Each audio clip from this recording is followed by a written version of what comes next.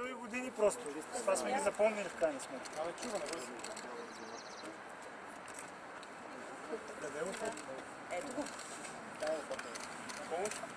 Еха. Дай го по-насам. Този красив паметник символизира управлението на господин Борисов и господин Цветанов.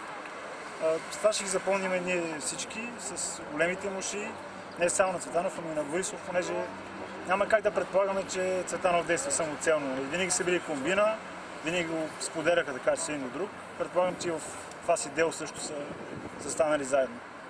Ще оставите ли този паметник тук или ще си го вземете? Разбира се, паметника е за всички нас. И за ГЕРБ, и за БСП, и за всички хора. Мислите ли, че ще си го преберат? Ами да се надяваме.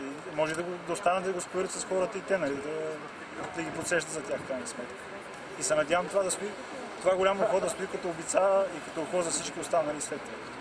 Добре, де, ама Бойко Борисов така казва, че вашия лидер БСП стои зад а, скандала с подслушването.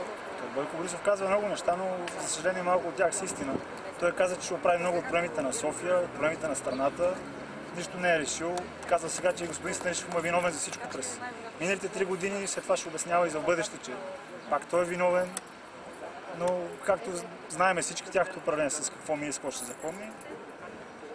Това мога да кажем и господин Борисов. Преди всичките му тежки думи, но леки, леки решения на проблемите или никакви. Паметника, за да остане нещо в историята, с това ли ще останат в историята ГЕРБ? Определено да.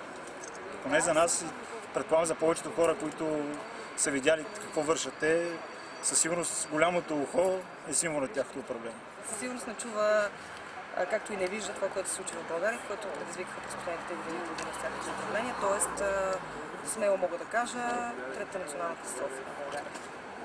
Паметниците са за да остане нещо или някой в историята. С какво ще останат ГЕРБ в историята? Ами с подслушванията, с рекета, с корупцията, с безобразието, най-вече с безпросветността, която настъпи в нашата държава, с а, 40% младежка безработица и с 1 600 хиляди българи под прага на бедността. Това ще остане. И така както в Германия концентрационните лагери символизират миналото, това, което е в миналото лошото, за да не го забравяме и да не го повтаряме, така ние искаме да сложим този паметник и се надяваме никога повече това да не се случи в нашата държава. Thank you.